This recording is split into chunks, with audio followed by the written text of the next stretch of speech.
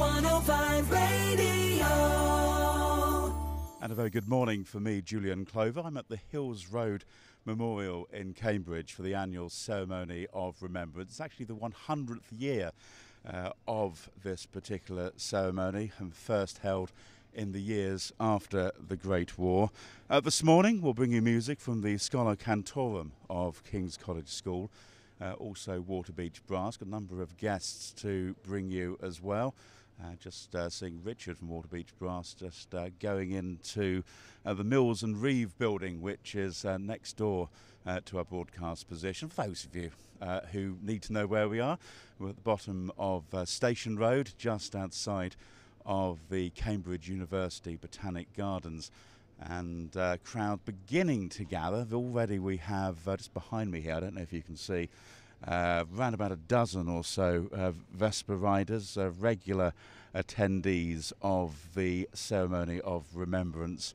Uh, the parade will start at about half past 10, and then after that, at uh, 10 to around about 10 to 11, the service will begin, and that's going to uh, be uh, handled by Devon McLachlan, uh, who is from Great St Mary's Church here in Cambridge. It's actually a second uh, ceremony which is uh, taking place uh, in town this morning. That one is going to be taking place at Great St Mary's itself. Here we'll have the Mayor of Cambridge, Councillor Mark Ashton, his deputy Jenny Wood. She is at Great St Mary's this morning. And uh, after the service completes here, a number of dignitaries are going to be laying wreaths on the uh, war memorial. Um, it's uh, made, for those who don't know, made of limestone in part, and uh, on top of uh, the memorial itself, we've got uh, the homecoming. Uh, which is this wonderful shot of uh, the soldier who's looking uh, towards Cambridge Station for his comrades who are never to return. Uh, seats uh, in front of me empty at the moment. They've been filled with the choir over the last uh, little while who've been uh, rehearsing, uh, sounding really, really good alongside Waterbeach Brass as well. And uh, we'll hear from them. We expect they're practicing actually to get underway uh, possibly at about uh, 20 past 20 past 10, I think, when that's going to happen. Uh, I'm noticing out of the corner of my eye a couple of uh, uh, scooter riders are going past on a road which I think has been closed over the last uh, couple of minutes or so. Though I do see a bus waiting there, uh, number three, on its way to Cherry Hinton. So perhaps maybe that won't. Uh, that will probably make its way through, but after that, the roads here are going to uh, be be shut, and uh, that will allow the uh, ceremony to take place. Now, I'm going to try and bring in a couple of guests, if I uh, if I can now, from uh, Waterbeach Brass. Gentlemen, if you'd like to uh, uh, to come over, we've got uh, two Davids for you. Uh, David Minchin, who is in charge. Uh, of Waterbeach Brass, also along him, another side him, another David, uh, David Euphonium. You wanted us to call him. Yeah, works for me. Yeah, absolutely. Okay, well, look, tell me, tell me a little bit, bit about Waterbeach Brass and uh, how, how long uh, it has been a thing. Oh, that's a good question. Do you know when it started, Dave? I, I When- do. I, I um, knew you'd know. Because, because it's, uh, I'll give it away, it's the year of my birth, so um, r- recent, of course. uh, no, we were founded in 1978, um, so we've been around however many years that is now, 44, I think. And, and how many of you are actually from Waterbeach? I'm, I'm guessing that you sort of um, a- attract people who are interested in playing from you know, several miles around. I don't know if call you a village or a town these days. Yeah, good question. So I think we've probably got maybe only one or two people in the band actually who live in Waterbeach at the moment. Um, we're very fortunate that we attract players from, I mean, all, all around the area. Um, I think our furthest player, I think, lives in Sandy in Bedfordshire. So um, people do travel some distance to, to play with the band and, and uh, you know take part in their passion. Because there are other uh, brass bands around. I think, David, you're involved also with one in, in Haverhill as well. Oh yes, so we're- we're very fortunate in this area. We've got lots of brass bands. I play in Haverhill Band, which is just over the border in Suffolk, of course. Um, and uh, they're close to where I live in Soham. There's a brass band, one in Wicken and Newmarket. It's a danger. I'm going to miss a lot of bands out here, but we I- are fortunate. I'm wondering, is, is East Anglia, you, one, one thinks of the north as being the place for all the brass bands, but it sounds like East Anglia is something of a hotbed for them as well. I, I think in, in the days of uh, working on the fields, having a having a brass band 100 years ago was quite a nice thing to have. But of course, there's a lot of the Salvation Army tradition as well, so that's where a lot of brass bands have, have come from, and a lot of players. But yes, there's quite a few bands in, in East Anglia and very locally, so that's excellent for us. Tell me about the music that we're going to be hearing today. Yes, well, today um, being Remembrance, of course, we've chosen music um, for the occasion. The band are going to be playing some numbers uh, as we await the procession coming up, and we're going to be doing Elgar's Nimrod. Um, we're then doing a brass band piece of music called Country Scene, which is nice and mellow and we thought suited the mood. Um, and that will probably be enough, although we have got Jerusalem in there should we need to play a little bit more. Are, are you also accompanying the, the Schola Cantorum of, of King's College as well? We are. We're there. We're, they're doing two two hymns. In fact, uh, James Randall is going to be conducting uh, them, so I'll step aside. So he'll conduct the band and uh, and uh, the singers uh, for that. And then we've got uh, O Magnum Mysterium um, in the when the wreaths are being laid, and that's just the brass band. And then we'll finish off with uh, the March Slaidburn. So that'll come right at the end of the service when everybody's uh, dissipating to finish. Okay. So that's our programme. And, and I'm just wondering if, you know, is it the first time that you've played with the Schola Cantorum? Is it just coming coming in on a on a Sunday morning, having to get something so important so right so quickly? No pressure. None at What, it is for me, I mean, of course, uh, brass bands, we, we do things with many different uh, organisations. In fact, I think uh, in May we've got a concert with the, the Welsh Male Voice Choir from London, haven't we? So uh, we do lots of uh, things uh, with uh, with voices and other groups. But this is the first time we've we've sung with the, the young ladies who sung beautifully this morning. We had a little rehearsal, um, and it sounded fantastic. It's so we're looking forward to it. Sounding really good. So we're looking forward to hearing them later on. David, tell me about the euphonium. It's, it's not necessarily, uh, shall we say, a, an instrument that one would instantly want think about playing. How, what led you to it? That's a good question. So, um, uh, cards on the table. I, I started off as, as a trumpet player um, many, many years ago now. Uh, and my, my very good teacher at the time basically noticed that I was struggling to get the high notes, uh, essentially, and said, um, you know, how do you feel about trying an instrument with a larger mouthpiece that would suit my, my, my mouth shape, my embouchure better? Uh, so I, I did that. I, I tried uh, tried a larger instrument and uh, was converted immediately. I found it so much easier. Uh, and I've you know, been playing euphonium now more more years than I care to remember, uh, and, I, I love it. Um, I think it's a, a beautiful sounding instrument uh, in the right hand. It's not very portable, though, is it? Not not hugely. um, it's it's rather nice to play because you get to cuddle it, which is which is um, lovely. Um, so you, uh, the name euphonium means sweet voiced, and uh, I I think it's got a, a lovely sound, a lovely rich sonorous sound. I like to describe it as the brass band equivalent of the cello. I have to mention you're, you're sporting two medals uh, this morning on, on your uh, rather smart blue jacket, if I might say so. T- tell me about those. So um, that's from from uh, another activity of mine that I did some years ago. Uh, I used to be a member of uh, Cambridgeshire Special Constabulary. Uh, so there are a couple of medals that I was uh, awarded during during my time serving with uh, with the police force. Okay, well, look, David and David, thank you very much uh, for joining us uh, this pleasure. morning. Um, I, I guess you'll be reuniting with the rest of the band shortly, and we'll be hearing uh, hearing you a little later, later we on. will indeed. We're assembling in about about quarter past ten, and then we'll play about twenty past ten. And uh, I think they're just having a little coffee before they go on and They play. possibly, So possibly need need to uh, to, to get uh, get them going and uh, make, making sure they're in full blow for late, for later on. absolutely, we had a lovely breakfast this morning, didn't we? We have to say, provided by who provided it by Dave. Uh, Mills and Reeves solicitors have looked after us very well, so thank you very much uh, for, for feeding us and your generous hospitality. I have to say they are very good each year, and I think the, the staff coming in especially to open up the uh, uh, the building on uh, on, yeah. on a Sunday for not just for Waterbeach Brass, but also for uh, for some of the veterans as well. So, uh, gentlemen, thank you very much. Well, thank uh, you very much. Indeed. We are speaking to uh, James Randall shortly. Uh, James is going to be uh, conducting uh, the Schola Cantorum of uh, King's College. Just pop the microphone down there, that'll be just fine. Thank you very much, uh, David. Uh, crowd starting to build a little bit. Some um, uh, military uh, people are here, I notice. Um, Major Stephen Shepperson, who is uh, masterminding the parade and the service today.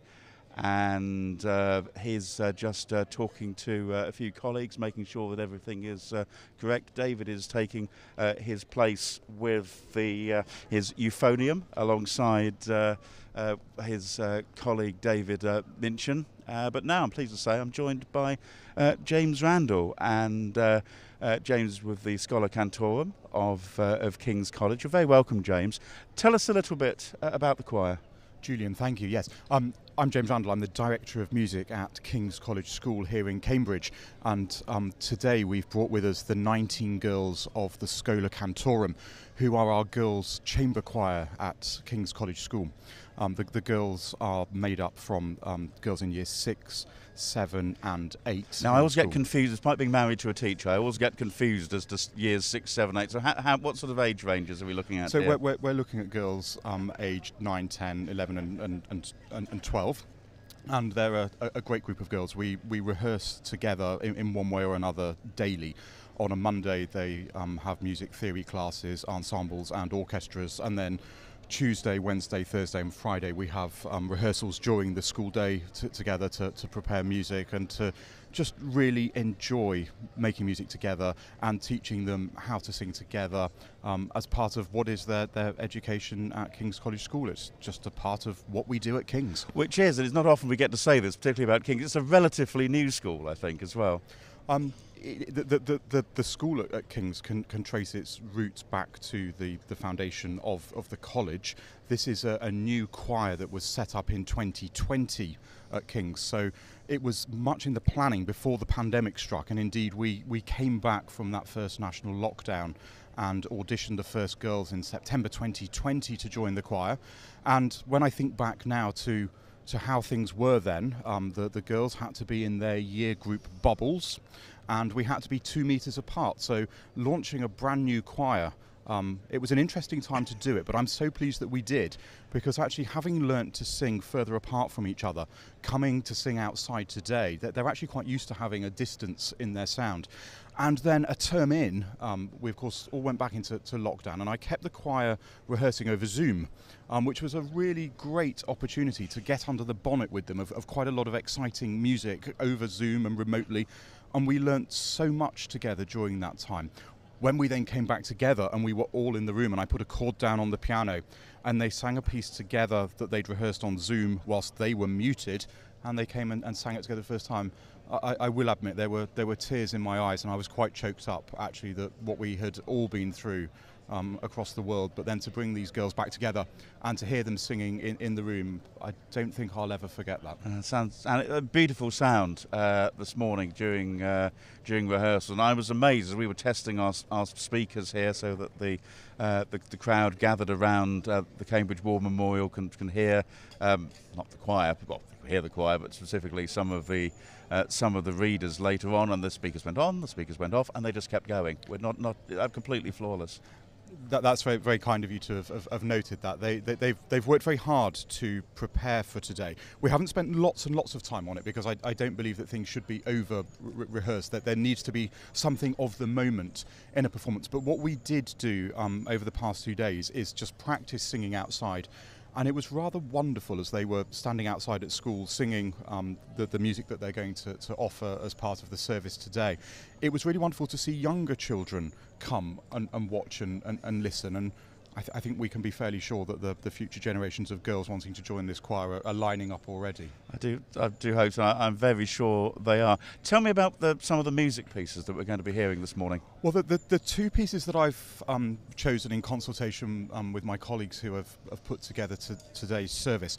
Um, the first is a, a setting of They Shall Grow Not Old as We That Are Left Grow Old. It's a very, very simple setting, um, and it's one I remember from my, my own school days. Uh, my own school director of music used to stand and sing it from the organ loft um, during, during the remembrance ceremony. and I thought it was the perfect piece for today. Its simplicity, captured by youthful voices, perhaps reminds us a bit of the huge sacrifices that were made by so many so that we really could enjoy our todays and that the next generation and the generation after that could use their voices. So I chose um, Mike Sams's version of They Shall Grow Not Old for that reason. The second piece I've chosen um, is a setting attributed to J.S. Bach, um, that, that great musician that's towered over over, over music for, for so many years. And it's his, um, attributed to him setting of Abide with Me, then will I fear not the journey into that distant land. And I, I chose this because I think it's so important at this time, as well as remembering what happened when so many people went and, and offered themselves in, in war to defend and to promote what was good, that we really do remember what they must have had to think about when in, the war was over and it was time to come home. What were they coming home to? What, what, what was it? What was the unknown at home? Because they'd been away. It's interesting. You you mention uh, rehearsing the choir over over Zoom, and one thinks of the changes that society went through. Some more temporary, and I suspect you know the changes will fade away over time. But we notice changes, but those changes would have been nothing compared to the soldiers, the servicemen returning home after after the war, the Great War, and then the Second World War. To be honest, many other conflicts that this this country has uh, found itself participating in. Yeah, and I, th- I think this setting of the Bach that we're singing, it, it as well as a, the emotion of, of, of the people who were going off to war, it, it really does capture. And if you if you listen carefully to, to what the girls sing in the second half of the piece, those emotions of when they were on the boat coming home, where were their loved ones? What would their homes be like? The cities they'd grown up in, what would they look like? So we wanted to capture something of that and to also, you know, what we're teaching in a choir. It's so much more than music. It's life skills as well, and I think it's really important that these children really do understand what today is about from from from all angles. And music education can do that. It can set the child a, a to understand things. And as a as a child uh, within the choir, what what happens next as you as as they get older? You know, they they, they move, Well, move as they- they'll move schools, but how do they maintain their their musicality Well, through a- that? as, as they grow older, yes, they do move schools, and that's a, a great sadness to us. We are a preparatory school. We are preparing children for the next step, and of course, the, the wonderful thing is that we, we, we plant very, very strong roots with the, the children in our care that have been entrusted to us. And what we want to do is we want to see them go off to wherever the next place for them, the, the right place for them to go to is. But we want to see them flourish. And perhaps one of the, the greatest things for us um, who are entrusted with the education of children is when you hear from them later on and you see the person that they have grown into and, and, and, and what they have, have become. And it's always a great joy to hear from former pupils who, who get back in touch and say, Here I am, do you remember me? This is what I'm doing now. And I'm still singing that song. Yeah, that, that's kind of what you need uh, you, you need to hear. Well, look, James, thank you so much for your time uh, this morning. We're very much looking forward uh, to hearing the, the choir singing uh, as uh, as part of the, the service. But uh, thank you, thank you very much. Thank you. indeed. It's uh, James Randall, uh, who will be, um, I'm seeing if you're watching our YouTube video feed, uh, James uh, will be uh, conducting uh, the Schola Cantorum of King's College School uh, this morning. Uh, just before I bring in my uh, my next guest, I'm looking around the corner to see if he's on his way. Uh, just uh, setting the scene for you here. We've got a group of uh, uh, police, not too many. Don't normally need, well, I guess with so many military around, you don't really need too much of a police presence.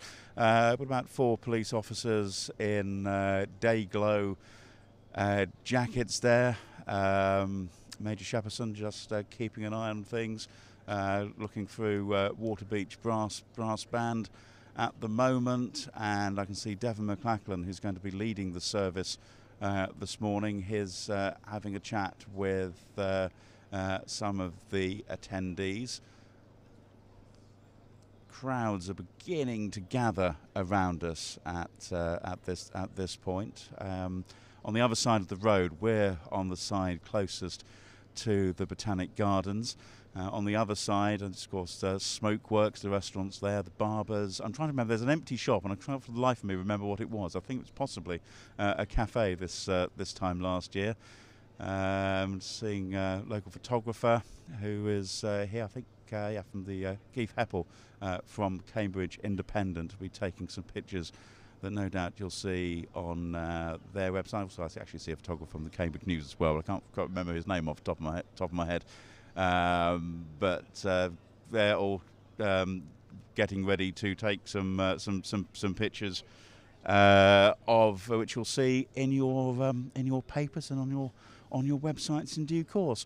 It's across the way there. I'm seeing uh, Daniel Zeichner, MP for Cambridge, is going to be amongst those uh, laying a wreath a little uh, a little later on. Uh, Major Shepperson is coming his in, in this direction. Good morning, Major. How are you? How are you? Uh, very well, thank you very much. Come in here because we're, we're doing a bit of it. Just, now, just if you stand on this side of me over here, we would be, be very good because um, uh, we're on and this way and uh, sorry, doing some doing some video as well. So we kind of have to be in, have to be in shot for those watching on YouTube. Um, how are things going? Oh, they're going really to plan today. The weather's been very kind to us. We've got a really good turnout, and uh, I think it will be a really good parade today. To mark it, obviously, the, the 100th anniversary of the War Memorial, it's going to be a splendid day. And this um, uh, lady here is responsible for the poppy panels. I would like to come in, madam, and just a little bit closer over here. And um, I don't know if we can get a shot in a moment of the uh, of the poppies uh, themselves. But Tell, tell me a little bit about them.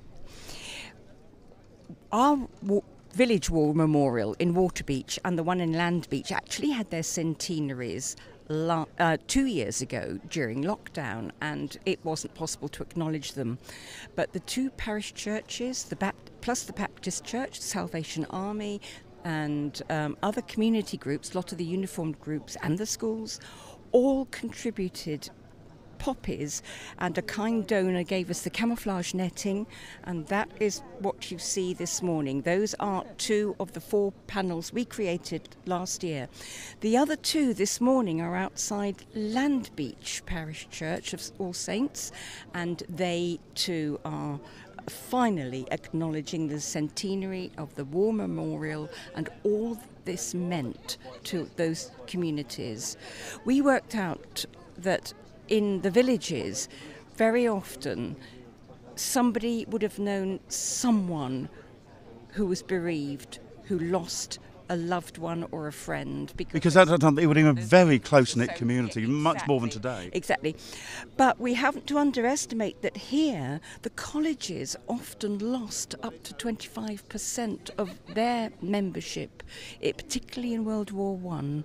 So it seems very appropriate for me, as one of the official tourist guides for the city, to um, be contributing here and remembering there.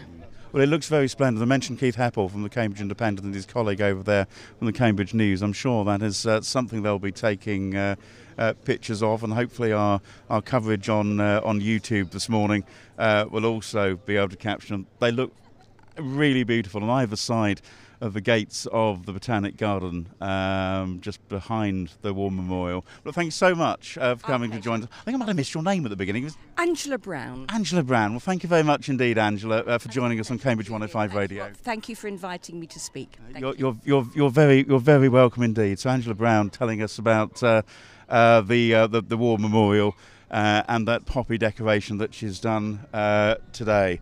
Now it's uh, Cambridge 105 Radio. We're live from the Cambridge War Memorial. And I'm very pleased uh, to introduce uh, my next guest uh, to you. If it, uh, a video camera here, so if we could uh, um, face uh, Norman towards that, that would be really good. And would you be able to hold, hold the microphone for him? Norman, you're very welcome on Cambridge 105 Radio. This is Norman Summers, who is a, uh, a veteran of. Um, and look, Norman, I, tell us a little bit about about Engineers. yourself. Royal Engineers, Yes. and uh, when and where did you serve? North, North Africa, Italy, and Vienna. Yeah. That's quite a stretch and a, and a long way. I, I, I gather that uh, you were born not in Cambridge, but in, in, in Bath, and then uh, came came across to Horningsea. Is that right? I, I was stationed at Quay in 19, 1940, was it? I think, yeah. And th- those times, do you? I don't know how, how clearly do you do you remember them? A lot. Got a good memory. Yeah. And I, I- gather uh, uh, now it's always dangerous asking people their age, but I think for, for this it's particularly relevant. Would you mind telling everyone how old you are now? 101. That is fantastic. And I gather, I uh, are you still sort of out and about on your motorised scooter, which I heard about? Yes. yes. I go on the market nearly every day. Wow. And the, the, the girls that run it there, Shelley and Sarah, they're fantastic. That's that's that that's that's wonderful. And uh, you, by the looks of things, you're, you're keeping in pretty good health as well. Well, not too bad, am I? No, not not not, not too bad at all. Well, look, Norman, thank you very much for popping by just to see us this morning. Really, really good. My army number, Oh yeah, go on. 2151352. I tell you, so I can barely remember my own telephone number. So that is uh, that is fantastic. Thank you. Thank you, Norman. Thank you very much uh, indeed. Thanks for joining us, um, Norman Summers, everyone. Let's listen to the sound of, I think this is Nimrod uh, by the Waterbeach Brass.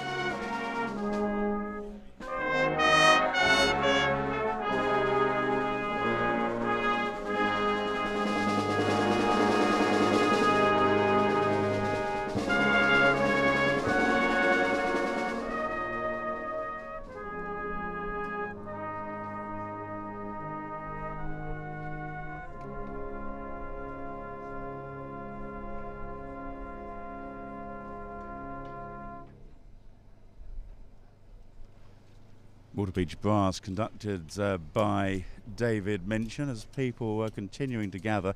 I must mention my colleague Neil Whiteside. Neil, come on over and have a grab the microphone here.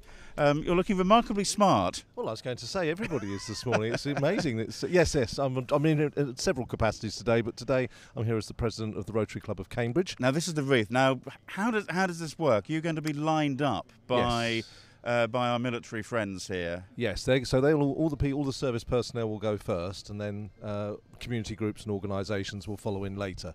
So you're in the groups of threes, presumably, which Presumably normally, so. normally normally come in. Well, the, the good news is at least I'll be able to identify you, so I'll, I'll know who exactly uh, exactly who you are. Just uh, mention, just breaking away briefly, the uh, uh, Mayor of Cambridge, Councillor Mark Ashton, just uh, walking by here, along with the uh, Lady Mayoress as well, and uh, I think uh, Councillor Ashton is going to be first uh, to lay lay a reef uh, when the uh, reef laying ceremony starts. That's after the, the service. I'm trying to think, probably around about 10 past, quarter past uh, 11 is Hmm. probably uh, when that's going to uh, to take place. So the, the reef itself, it, is is this one because some of them I hear get get used every year. No, this is brand new brand every new. brand new every year from us. So uh, and, and it's it's all money into the Royal British Legion. Of course, we bought we purchased them from the Royal British Is British that how that Legion. works? Now Yeah, that's so- interesting. yeah, so money's gone the, into their the pot. poppy sales and the, the, the pin badges that we're both sporting this morning um, add so much funds. This presumably adds just that little bit little bit It more does. to go in it there. does. We're absolutely delighted always every year to do this. And of course, I've driven down from Norwich to do this this morning. For me, I've never attended uh, a, memor- a Remembrance Sunday in this sort of capacity. My father was in World War Two, uh, and my grandfather was in World War One. So for me, it's great. It's lovely to be here today. do It's, it it's interesting that the, the family connection, really, that so many, Yeah. so many people have, thinking back to, well, another age, really, isn't it? And if we think of it, this is the 100th anniversary of Remembrance commemorations in Cambridge. We just, uh, I just heard from our guest Angela that actually uh, Waterbeach beat us to it by a year in having the, uh, in, in, in having the first one in uh, in 1921 but uh, in 2022 commemorating the uh, 100th anniversary. So your uh, so your your task will be to, to, to lay lay this. Do you know who you're paired with? Yet, no, not yet. We'll find out in a moment. on? So I suppose I better go and pay attention. But it's uh, well done as always. It's a wonderful. I was listening on the way in. It's always wonderful coverage from Cambridge 105 Radio, and I'm not just saying that as a member of staff. It's It's, the- always so professionally done. It's the right answer. Uh, Yeah. thank you very much, See you later. Neil. Uh, Neil Whiteside, Cambridge 105 radio presenter, who's uh, here today in his capacity as president of the uh, Cambridge Rotary Club. Um, the inevitable bicycles are now being pushed through. Um, despite the road closures, we will see at some point during the course of the service there'll be a lone cyclist who's desperate to uh, to find their way through.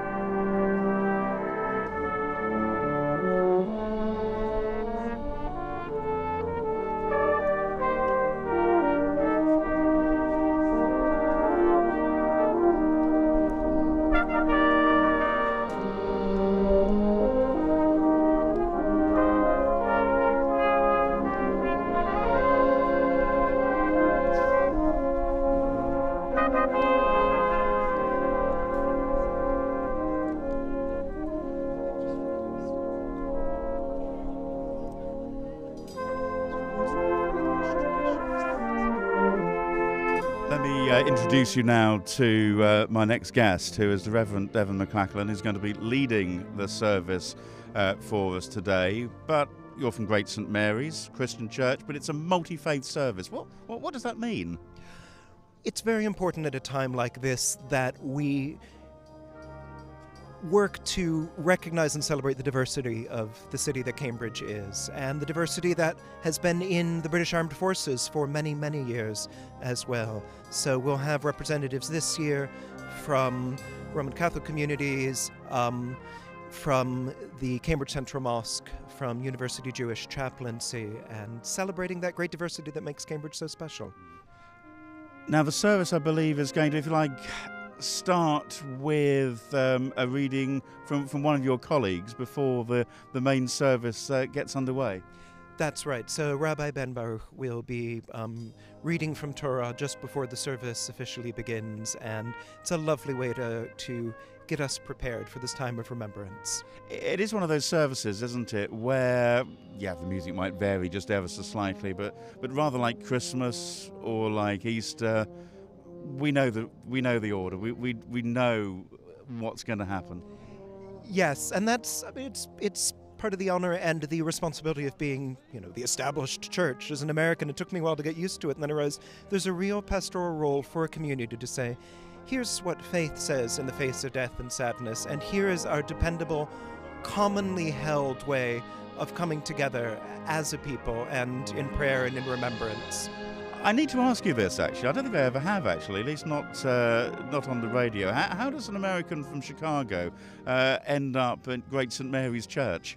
Uh, you know, I'm still trying to figure that out. Many years down the road, it was a surprise to me as well. But it's such a it's such a wonderful community, and what a what a gift to be. Um, a part of what brings Cambridge together as a city.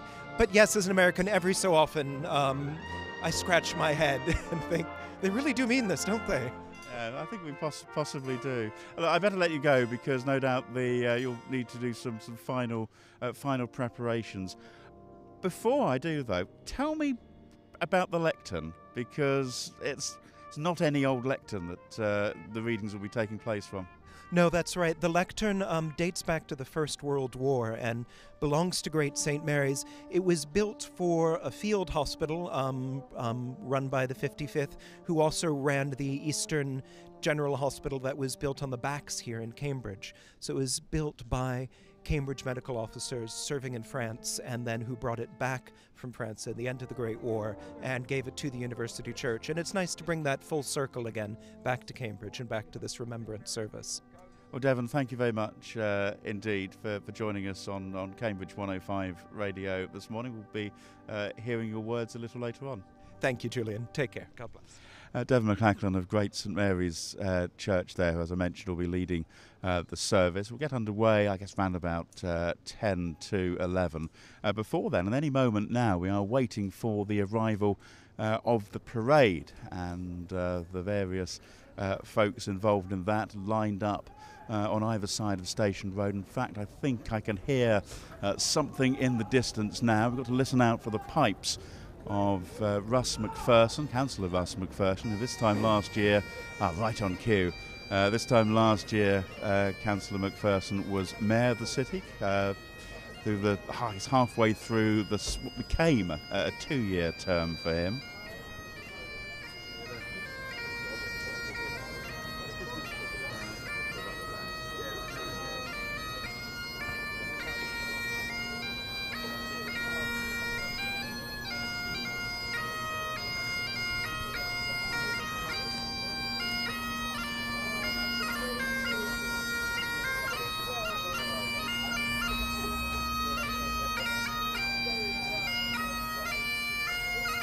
Councillor McPherson uh, leading uh, the assembled masses of the uh, parade down Station Road, just uh, approaching now the uh, the traffic lights, and actually the original site of where the war memorial was. It was moved back a few uh, years ago now.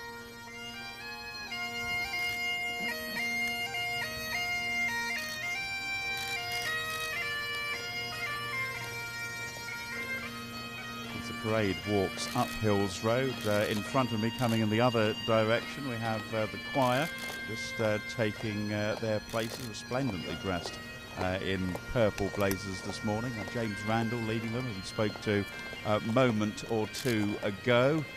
The parade goes up really as far as the Earl of Derby pub, then turn around, come back, and form up in front of us here outside the War Memorial.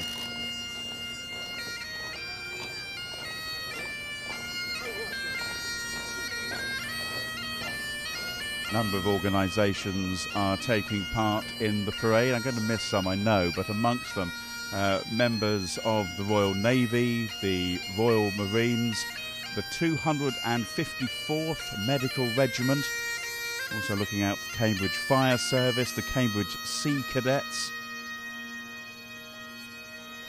Cherry Hinton Army Cadets, Cambridge Police are represented as well the parade uh, walking just, just in front of me now, level with our broadcast position and our outside broadcast van. Uh, also seeing uh, members of St John's Ambulance, uh, the Cambridgeshire the Royal British Legion, of course, and the Fire Brigade. Various sets uh, of scouts and cubs and beavers uh, from right the way across Cambridgeshire are here this morning.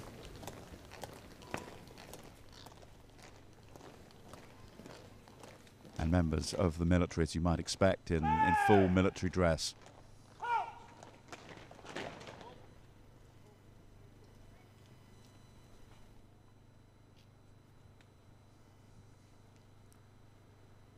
Brought to a standstill here.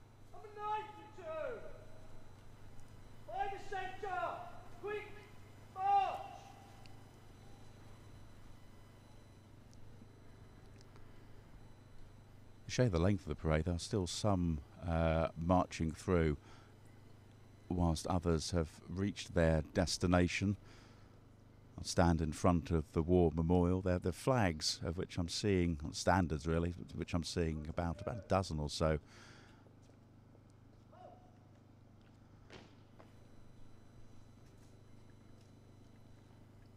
And Councillor McPherson, who's uh, dressed in some rather fetching white boots, along with uh, Tartan and holding his bagpipes. That you heard him playing just a few moments ago. Norman Summers, our veteran, who we uh, spoke to just uh, just a few minutes back, his um, in his uh, wheelchair, which is uh, uh, being supported by a fellow serviceman, just standing in front of the memorial there.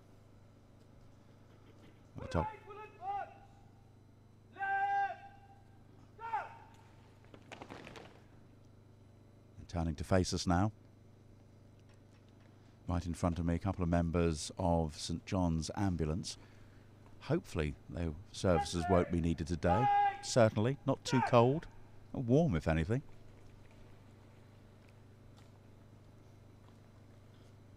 Moving into position, checking that they're level. Arms length apart. And to the front.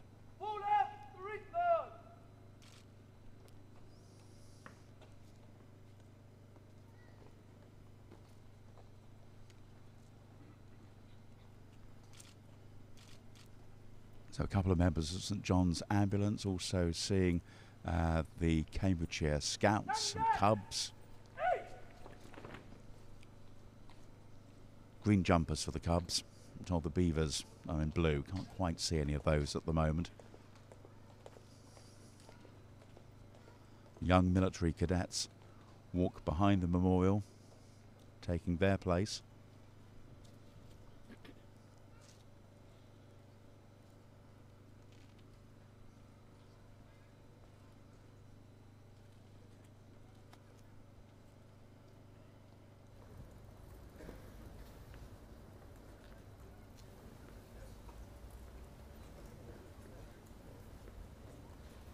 Of the crowd here really swollen over the past 10, 15 minutes. When we arrived here, uh, of course, around about 9 o'clock, uh, we uh, virtually empty other than the seats of the uh, taken by the Waterbeach Brass and the Schola Cantorum of King's College. Now, though, pavements are full. The road, of course, Hills Road, has been closed. Keith Heppell taking some pictures there. Mentioned you'll probably see those in the Cambridge Independent in due course.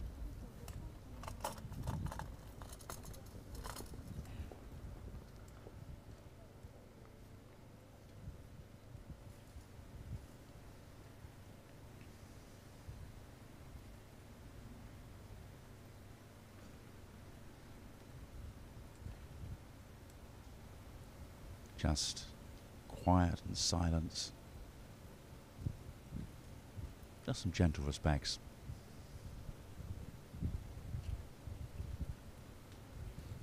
Little bit of activity behind, some people still going about their business, an inevitable cycle uh, which you would see around Cambridge.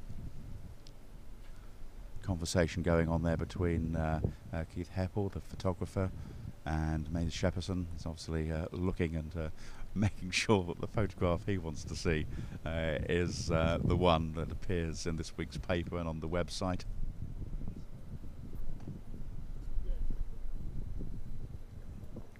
Number of people holding wreaths ready. Of course, anybody can uh, can lay a wreath here uh, once the main, and many do, uh, once the main service has been completed.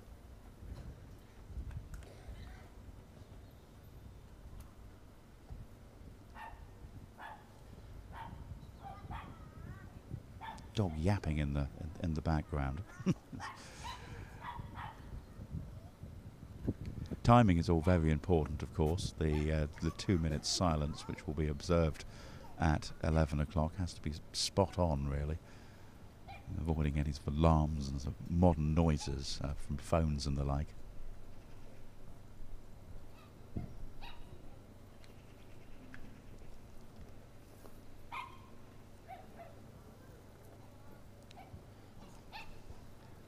Immediately in front of me, we've got the Waterbeach brass uh, emblazoned, as I mentioned a little earlier on, in their in their blue blazers and uh, the purple of the Schola Cantorum of King's College School and Waterbeach brass lined up in front of the Botanic Gardens that we mentioned uh, when we were speaking to Angela Brown.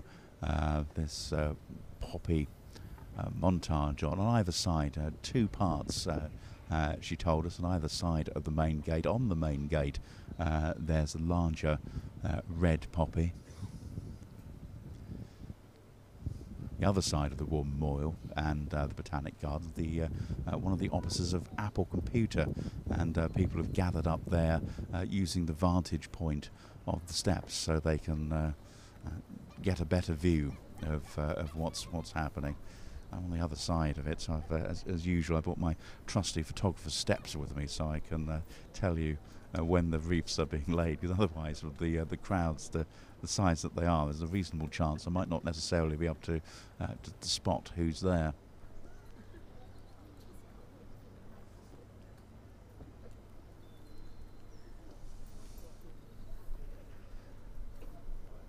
Veterans, young and old, are are lined up along with uh, the future, the uh, the cadets.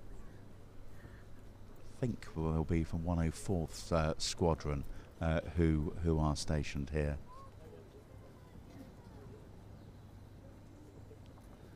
Some people as well outside of the Mills and Reeve building who uh, look after uh, everyone as they've done for, for, for many years. Uh, now the big glass building uh, you'll be familiar with, sort of a slightly green tinge. In fact, the windows is like a, a, green stripe uh, on between every every couple of uh, of windows, which makes up the fascia of the building.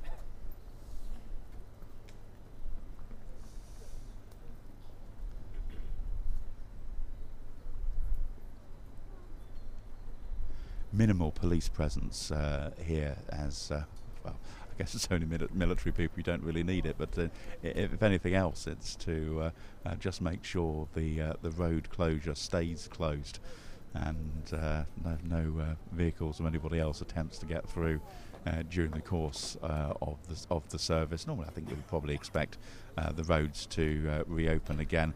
I think by around about a quarter to twelve. Just looking across the way there, I can see uh, Councillor Mark Ashton, Mayor of Cambridge. Uh, somebody in between, I can't quite make out. Uh, Daniel Zeichner, uh, Labour MP for Cambridge. Easily spot Daniel because he's very tall. And in front of them, as I mentioned, uh, Norman Summers, and uh, next to Norman, Major Shepperson, also heard from him on our broadcast a little earlier on. I should mention, if you are listening to us uh, on the radio or perhaps your smart speaker, you can also see pictures uh, of the event. We're broadcasting uh, on our website via YouTube. You go to cambridge105.co.uk and follow the link that you see there.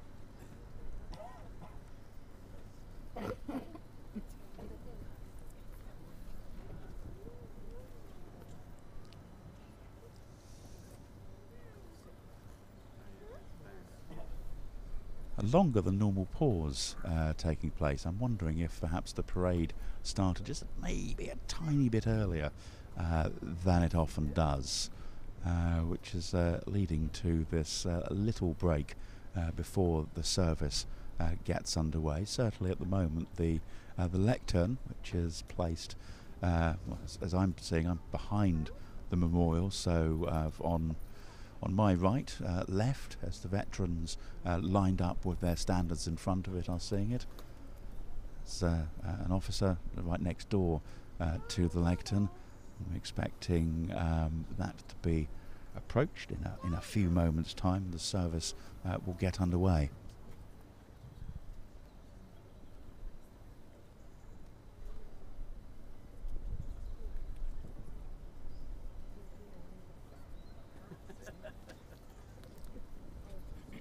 Just when I've got a moment, I should mention Cambridge Pianoforte, uh, who are responsible for uh, providing the keyboards, uh, which you'll hear. It's uh, the portability of uh, such devices is very, very useful. So that's uh, been brought down from Cambridge Pianoforte's place in King's Hedges.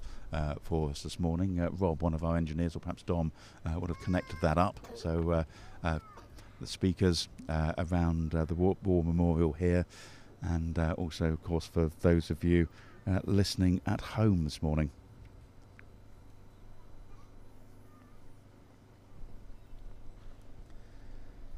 Today's event, of course, uh, commemorates the contribution of British and Commonwealth military and civilian servicemen and women in two world wars and later conflicts. It's an opportunity not just to honour their service, but also to commit ourselves to work for reconciliation and for peace. And obviously, with events in Ukraine uh, in the front of our minds, um, we I strive for peace more than ever at this time.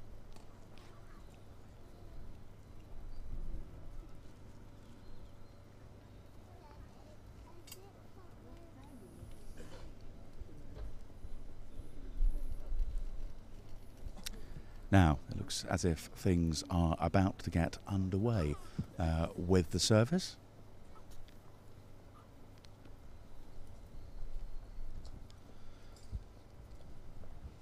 I'm uh, Rabbi Ben Baruch.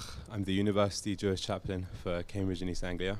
Um, and I'm going to do a reading of Psalm 23 in honor of all of those who served four, including my grandfather, who's 97, he served in the Royal Navy, and all those who unfortunately lost their lives. מזמור לדוד, אדוני רואי לא אחסר, בנות דשא ירביצני, עמי מנוחות ינהלני. נפשי ישובב ינחני במעגלי צדק למען שמו. גם כי אלך בגיא צל מוות לא ירא כי אתה עמדי. שבטך ומשענתך המה ינחמוני. תערוך לפני שולחן נגד סוררי, דשנת בשמן ראשי כוסיר הוויה. אך טוב וחסד ירדפוני כל ימי חיי, וישבתי בבית אדוני לאורך ימים. A Psalm of David God is my shepherd, I shall not want. He makes me lie down in green pastures. He leads me beside the still waters. He refreshes my soul. He guides me in the paths of righteousness for his name's sake. Though I walk through the valley of the shadow of death, I will fear no evil, for you are with me. Your rod and your staff, they comfort me. You set the table before me in the presence of my enemies. You anoint my head with oil, my cup is filled to overflowing.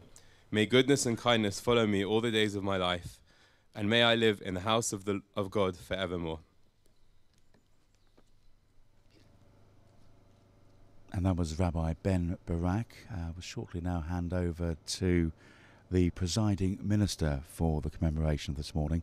That's the Reverend Devon McLachlan, Associate Vicar of Great St Mary's, of course, uh, the University Church. And uh, Reverend McLachlan is now approaching the lectern.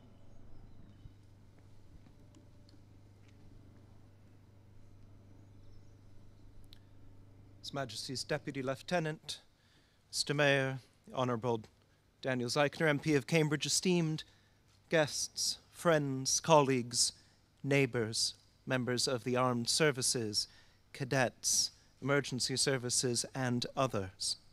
Welcome to this Remembrance Sunday service commemorating the contribution of British and Commonwealth military and civilian servicemen and women in the two world wars and later conflicts. We are come here together to honor their service and to commit ourselves to work for reconciliation and peace. We are delighted as well to have other representatives of civic authorities and of the university, including the Pro Vice Chancellor of the University of Cambridge.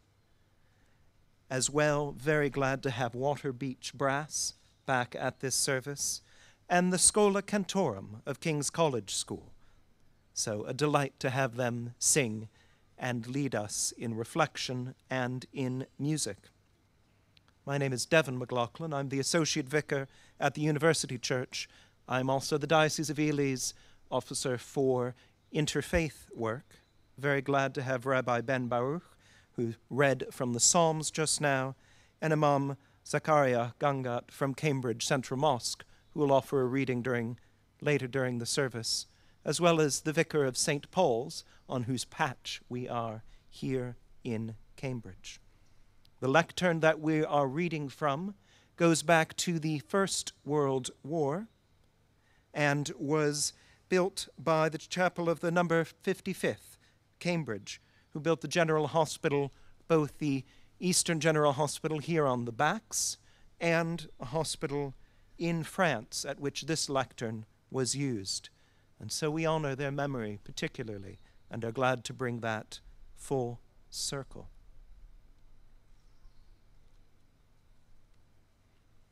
There are a number of other anniversaries this year. It is the 100th anniversary of Remembrance services here in Great Britain. Not the 100th anniversary of the armistice. I may be American, but I know that much. But it is the 100th anniversary of Britain setting aside a time every year to remember the fallen. We also have amongst us someone a little bit older who was already one year old at that first remembrance service, and that is Norman Summer, who is 101 years old and who served in the armed forces for many years. Norman, it is an honor to have you with us and as part of the wreath laying community. Thank you very much, Norman, for your service, for your presence here. There are orders of service available for those joining us further away. As you know, Remembrance Day has very specific timings. We're not just doing this to see if any of the cadets will pass out while I talk.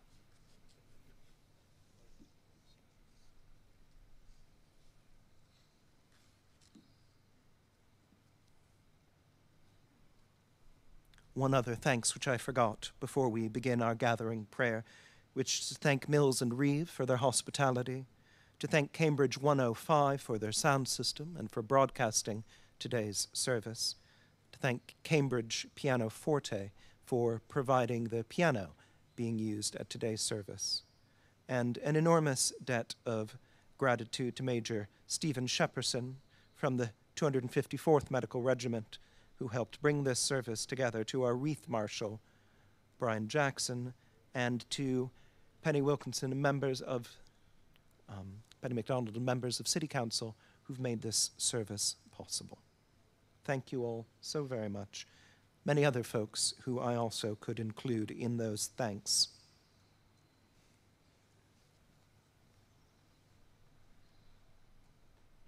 What does the Lord require of you?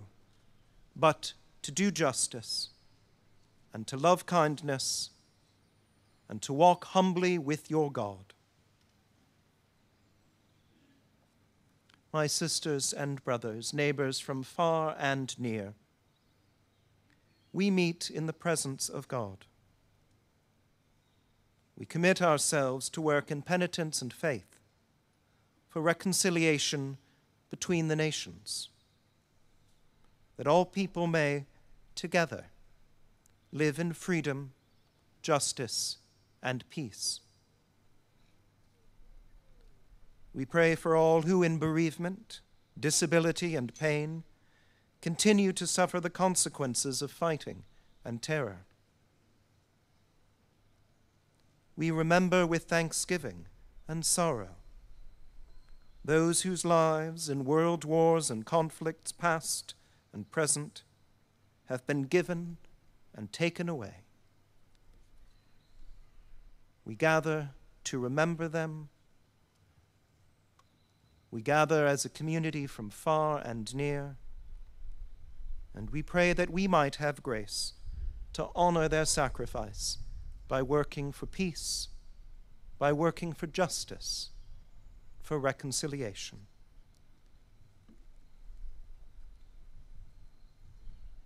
Our service continues with the act of remembering and then the two minute silence that follows the last post. I might remind some of our guests this is a good time to check your mobile phones. His Majesty's Deputy Lieutenant will now begin the act of remembering.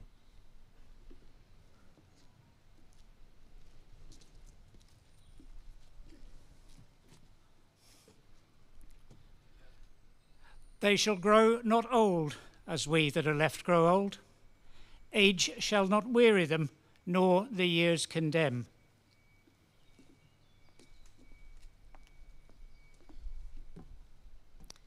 At the going down of the sun and in the morning, we will remember them.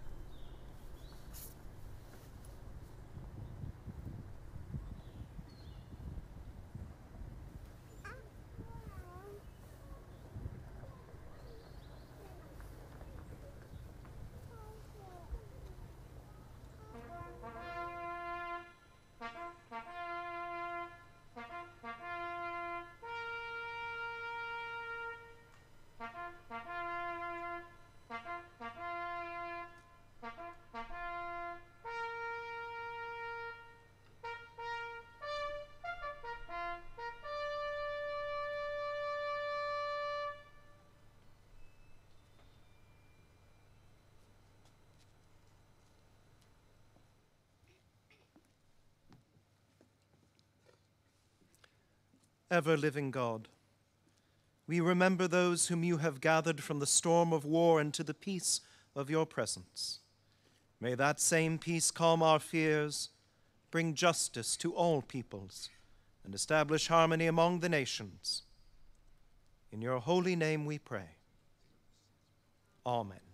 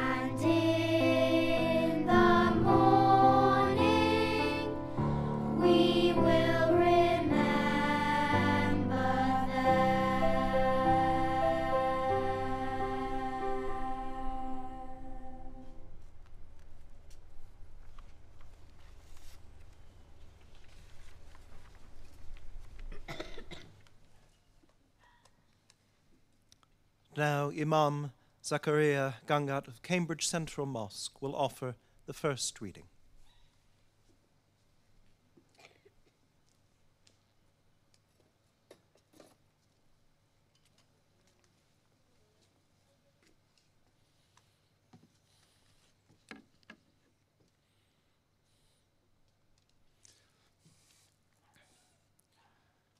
Good morning. May peace and blessings be upon you. As we honor those that have sacrificed and departed, may we work towards love and peace.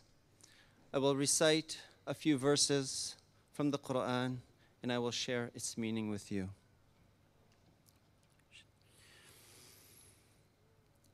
بسم الله الرحمن الرحيم. الحمد لله رب العالمين.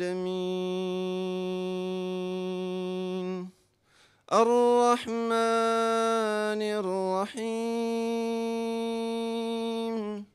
مالك يوم الدين. إياك نعبد وإياك نستعين. اهدنا الصراط المستقيم. صراط الذين أنعمت عليهم. غير المغضوب عليهم ولا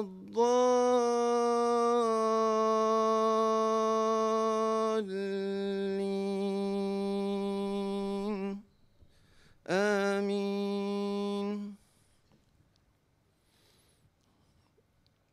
We begin in the name of God, the infinitely good, the all merciful. Praise be to God, the Lord of the worlds, the infinitely good, the all merciful, owner of the day of judgment. Thee we worship, and thee we ask for help. Guide us upon the straight path, the path of those on whom is thy grace, not those who deserve anger, nor those who go astray.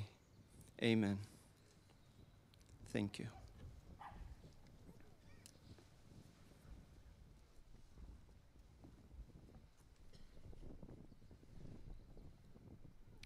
And now, Andrei from Cambridge University Ukrainian Society will offer a reading from the Gospel according to Matthew.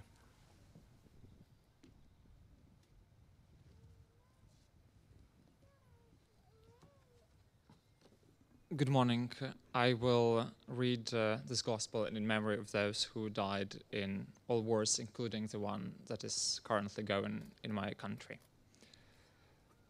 Blessed are the poor in spirit, for theirs is the kingdom of heaven. Blessed are those who mourn, for they will be comforted. Blessed are the meek, for they will inherit the earth. Blessed are those who hunger and thirst for righteousness, for they will be filled. Blessed are the merciful, for they will receive mercy. Blessed are the pure in heart, for they will see God. Blessed are the peacemakers, for they will be called children of God. Blessed are those who are persecuted for righteousness' sake, for theirs is the kingdom of heaven.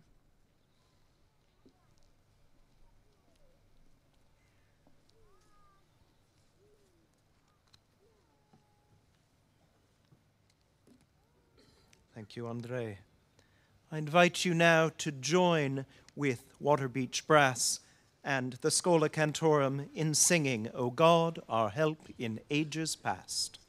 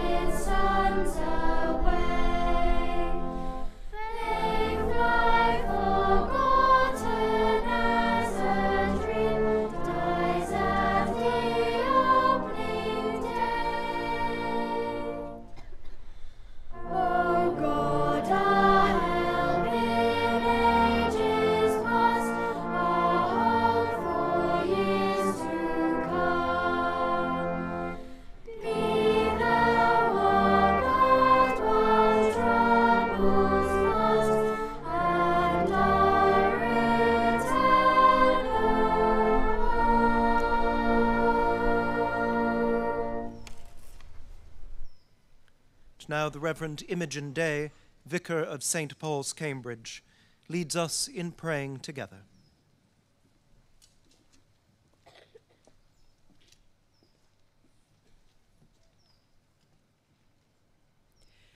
Let us pray for all who suffer as a result of conflict and ask that God may give us peace. For those who have died in the violence of war, each one remembered by and known to God, and for those who mourn. Lord of peace, hear our prayer. For all members of the armed forces who are in danger this day, for their family, friends, and all who pray for their safe return. Lord of peace, hear our prayer. For all whose lives are disfigured by war or terror, including civilians and refugees, and that we might repent of anger and hatred. Lord of peace, hear our prayer. For peacemakers and peacekeepers who seek to keep this world secure and free, and for all who bear the burden and privilege of leadership. Lord of peace, hear our prayer. God of truth and justice, we hold before you those whose memory we cherish and those whose name we will never know. Help us to lift our eyes above the torment of this broken world and grant us the grace to pray even for those who wish us harm. As we honor the past, may we put our faith in your future, for you are the source of life and hope, now and forever. Amen. You're invited to join me in saying the Lord's Prayer in whichever language is most familiar to you. Our Father, who art in heaven, hallowed be thy name. Thy kingdom come, thy will be done on earth as it is in heaven. Give us this day our daily bread, and forgive us our trespasses, as we forgive those who trespass against us. And lead us not into temptation, but deliver us from evil. For thine is the kingdom, the power, and the glory, forever and ever. Amen. We sing Abide with me.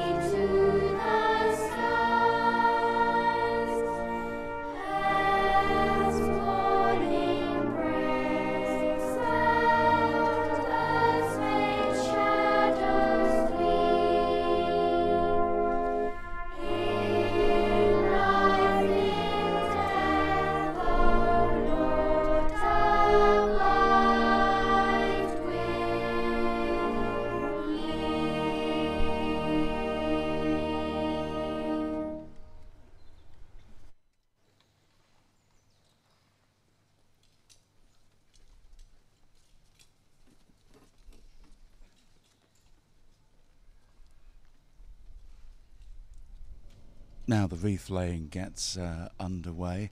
Uh, first uh, to lay the wreath is uh, uh, Roger Herriot, the Deputy Lieutenant of Cambridgeshire, followed closely by Mayor of Cambridge, Councillor Mark Ashton, just, leaning down, placing his wreath there as the music of uh, Waterbeach Brass uh, commences once more, uh, being conducted by David Minchin here.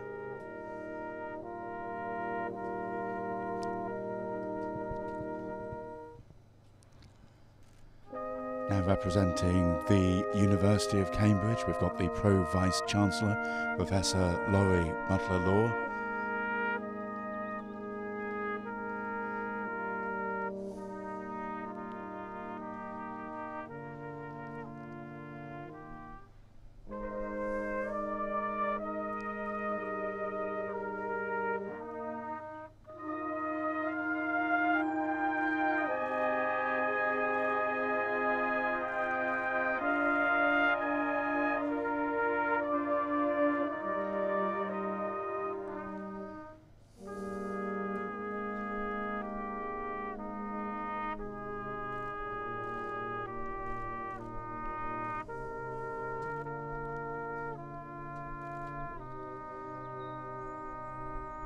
Familiar faces of some of the uh, veterans who have served their country, uh, now living in Cambridge. Uh, some born here, of course, others um, drifted in over time, as some of us do.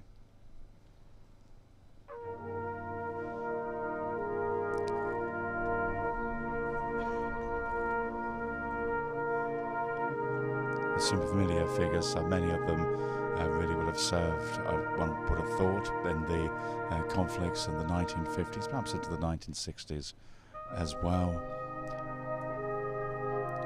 Spoke earlier, of course, to Norman Summers, at 101 years old, was with the Royal Engineers, uh, served in Italy and Algeria. I'm sure that he'll be uh, joining the party and laying his own tribute in the next few minutes or so. Wreath Marshall normally sends people through in uh, groups of threes uh, to lay their wreath and then they return uh, to their place, mostly gathered uh, on to the left of the War Memorial.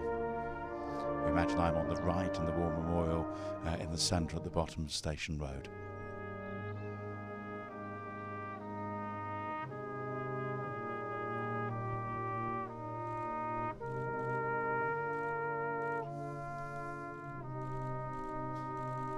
Political leaders as well uh, making their tributes. Uh, Daniel Zeichner, who is the uh, Labour MP for Cambridge, I think alongside him that's Anna Smith, the leader of Cambridge City Council.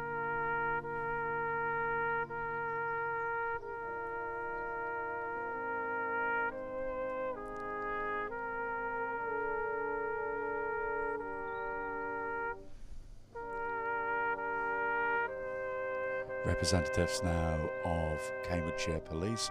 I know that uh, the officers are around us uh, here today, being looked after uh, by Jim Stevenson.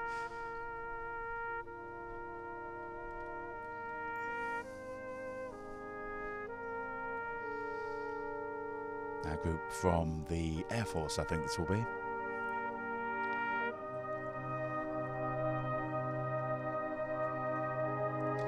Touching over on the far side, the opposite side of the road, uh, next to Hills Barbers. We've got a group of firemen who are here today. Uh, they have placed uh, their helmets on the ground, the yellow helmets on the ground beside their feet, hands behind their back, looking towards the memorial.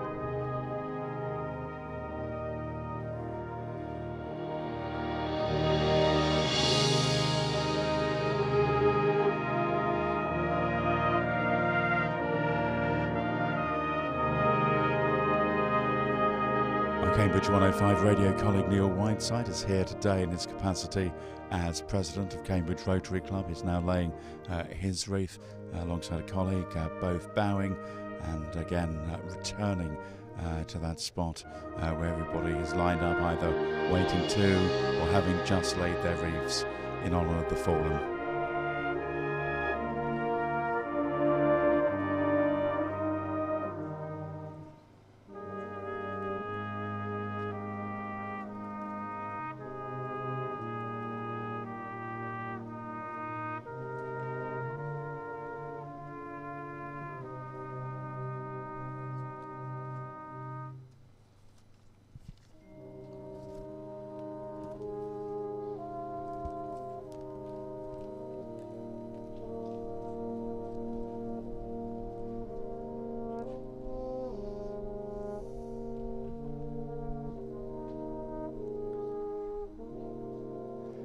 Some of the others. Laying wreaths uh, this morning, Councillor Stephen Ferguson, who is the chair of Cambridgeshire County Council, Chief Constable Nick Dean of Cambridgeshire Constabulary, and the Parade Sergeant Major is Paul Scott, Colonel Jason Herring, the Vice Commander of the 100th Air Refuelling Wing, and uh, representing um, the American Armed Forces this morning, Colonel Brian Filler, who is the commander of the 501st uh, Combat Support Wing of the United States Air Force, and uh, I believe he is based out of Mildenhall.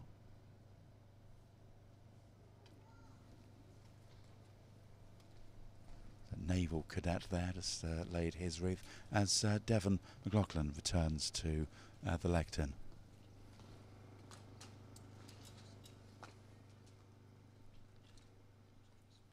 When you go home, tell them of us and say, For your tomorrow, we gave our today.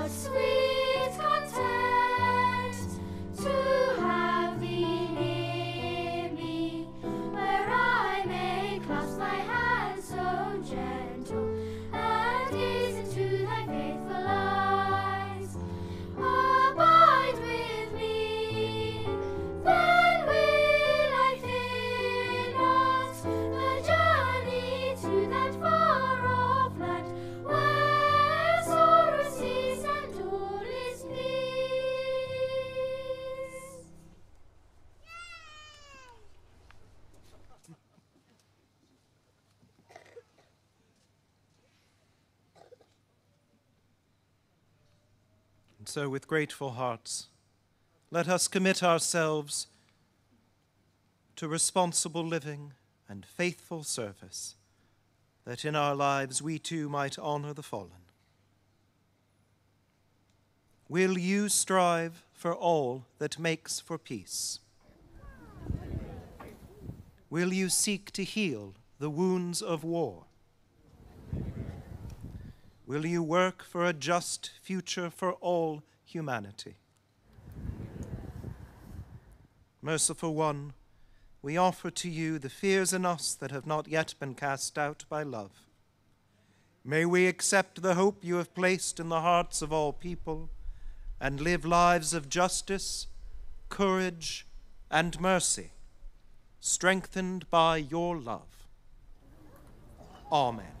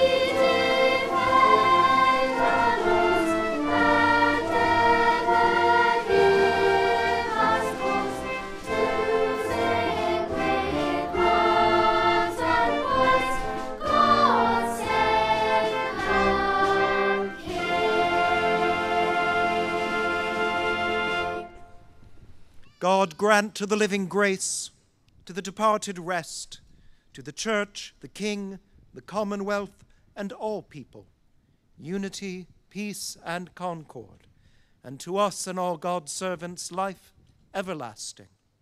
And the blessing of God Almighty be with you all and remain with you always. Amen.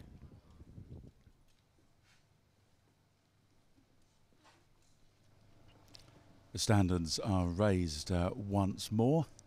The uh, parade and uh, uh, preparing to uh, depart.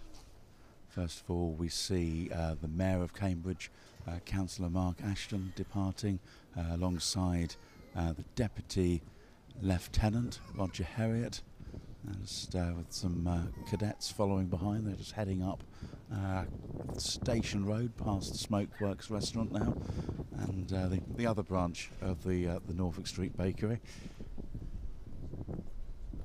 Being uh, followed out by some other other cadets.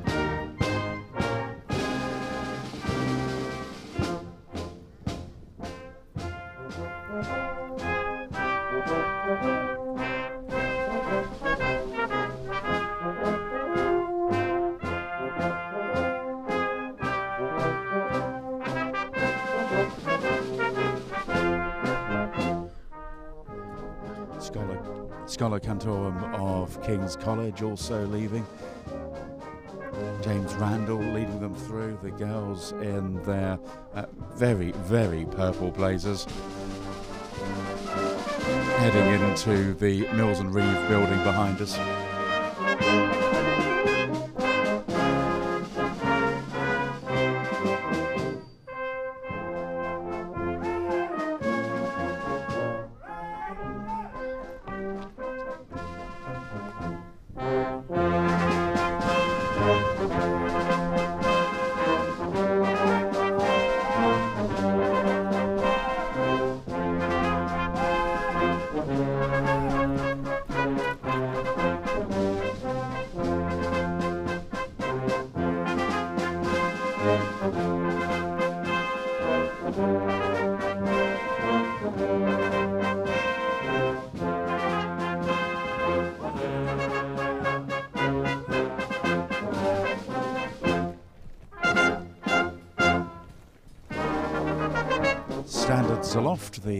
Uh, starting to move uh, down Hills Road. They're going to turn around in a moment or two. And right now they're heading in the uh, direction of Lensfield Road. It's turning now, turning I would say around about level with the Apple building and uh, turning around in front of Hills Barbers. Members, as we saw earlier, the Royal Navy, the Royal Marines, the 254th Medical Regiment, uh, Cambridge Fire Service, Cambridge Sea Cadets, uh, the 18th Cambridge Scouts, uh, Cherry Hinton Army Cadets, uh, Cambridge Police, uh, the 104 Air Cadets, uh, St John's Ambulance Youth, and of course members too of the Cambridgeshire Royal British Legion.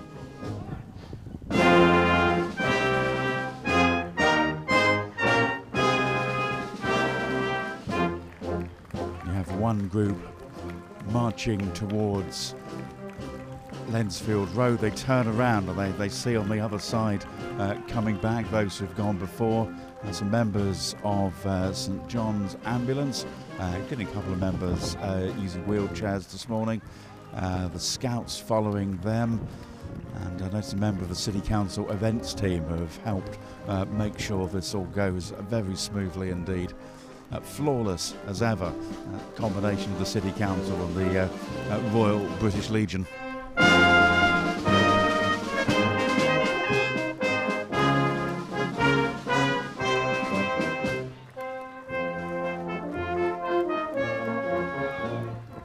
And our first attempt of the morning of a bicycle to try to get through. Ah, interesting.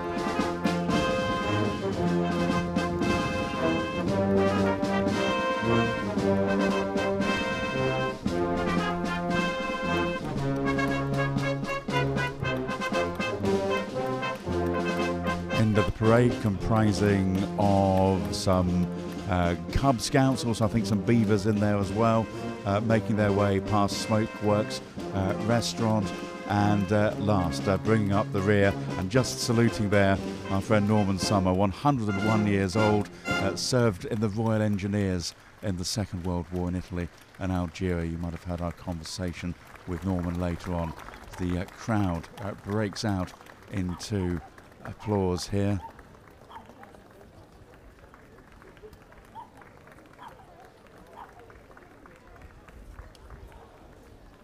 I'll just keep an eye on Waterbeach Brass to see if they are going to uh, play one more number for us. Yes, trying to decide. Russ McPherson there with his uh, kilt, his bagpipes, his scarf. I'm seeing the instruments are being put down, which seems to uh, suggest that uh, we've heard. Oh no, maybe not. Hang on.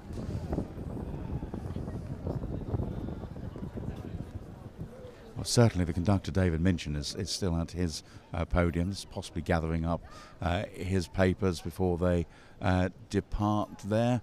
Uh, over the other side, some of the uh, dignitaries, Daniel Zeichner is uh, having a chat with Devon McLaughlin, who conducted the service for us today. Hello, Mr. Rotary. Neil Whiteside is here again. That, that all worked out? That did. That was very good and a great honour. Really, yeah. Who, who was your companion? Uh, she was a lady from, and I haven't got my glasses on, but she was from that organisation there. That is Plasgood and Skeets. Is that an organisation? Yes, local local organisation, I think. Local organisation, uh, and I've also got bookmarks and everything from them as well. So yes, it was yeah, very nice. Okay, no, well done. That's it. That's it. Back home and into my jeans now. See you back on tu- tomorrow, twelve till two. Bye. Neil Whiteside. I've so we- don't. Um, it's not that Cambridge 105 radio presenters get to uh, lay wreaths. It's Neil in his capacity as uh, the president of Cambridge Rotary Club. Uh, the crowd is just beginning to uh, disperse. There's a few conversations. The road is still shut uh, at the moment. It will remain so for a while. But I noticed the.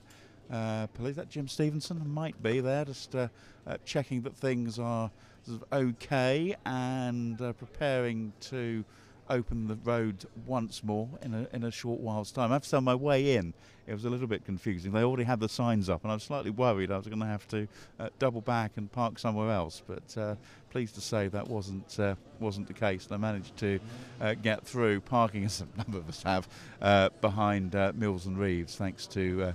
Uh, their generosity, not just for the parking really, but providing refreshments uh, for those uh, participating in today's service. Didn't need shelter this year. Actually, it's uh, quite warm uh, for certainly for a November November day. I don't know if you can hear the sound there. I, I mentioned these guys every, every year. They're about a dozen or so Vespa riders who uh, I think many of them are, are veterans and they, uh, they come over to, uh, to pay uh, their respects. Now is the time, by the way, when individuals can come up to the War Memorial and lay their own tributes, those people outside of uh, the, the, main, the main parties. Now, whilst we've been speaking to you, of course, at the Cenotaph in London, poignant occasion there for the new king, as the first time uh, King Charles has led the country in commemorating those who have lost their life since he came to the throne just uh, two months ago. And a really sort of strange feeling, really, uh, standing here outside the Cambridge War Memorial and uh, hearing God Save the King sung for the first time, as of course it would have been 100 years ago uh, on the very first Remembrance Sunday at uh, the Cambridge War Memorial.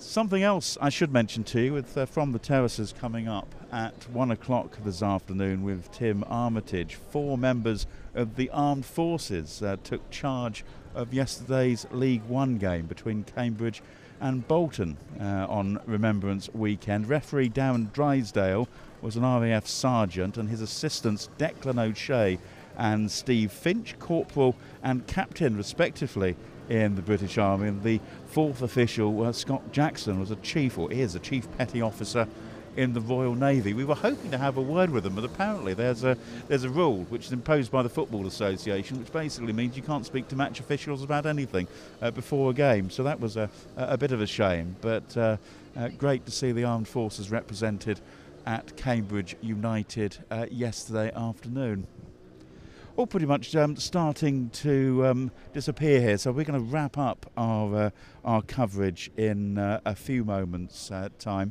I should mention after the news at 12 o'clock, it's a bookmark special show uh, today on publishing. And Lee Chambers' featured guest is John B. Thompson, uh, talking about book wars, the digital uh, revolution in publishing, his exploration of the effect of the rise of technology on the publishing industry. Uh, also, hearing from best selling author A.J. Campbell and why she decided to self publish. And Kathy Moore, who's director of the Cambridge Literary Festival, is going to be chatting about the upcoming festival and why face to face events uh, with authors remain extremely popular. Uh, my thanks to our engineers, Rob Chipperfield and Dom Smith, our production assistant, Sophie Brown. Uh, this is Julian Clover from the Cambridge War Memorial. A very good morning.